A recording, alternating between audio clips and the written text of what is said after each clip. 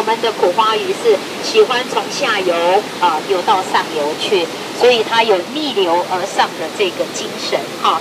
那我们乡公所呢，常常就会是在做发包工程之后，把这些鱼梯做完以后，哎，你知道我们佛山里的李明第一个反应是什么？报告里长，这个梯做的太高了嘛，是吧？哎。里长就怎么说？哎呀，公所已经发包了嘛，啊，这个钱已经花下去，先这样好了，明年我们再来改。不是啊，你要给他练习撑杆跳高哦。原来为什么它有一定的高度？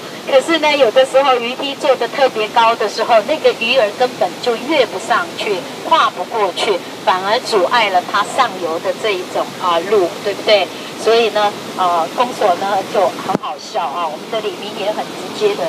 你要给他练习撑杆跳高哦！啊，原来这里的鱼也是跟猎人一样很强悍这样子哈。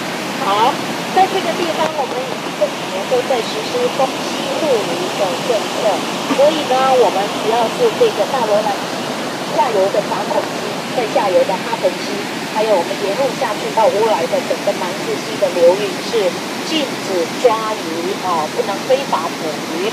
如果被巡溪员抓到看到的话，举报上去啊，对不起，三万块掏出来啊，到十五万元不等，要看你的余货量怎么样哈，来定你的这个呃罚款的价钱有多少哈。好，这个是我们大罗兰溪，待会我们。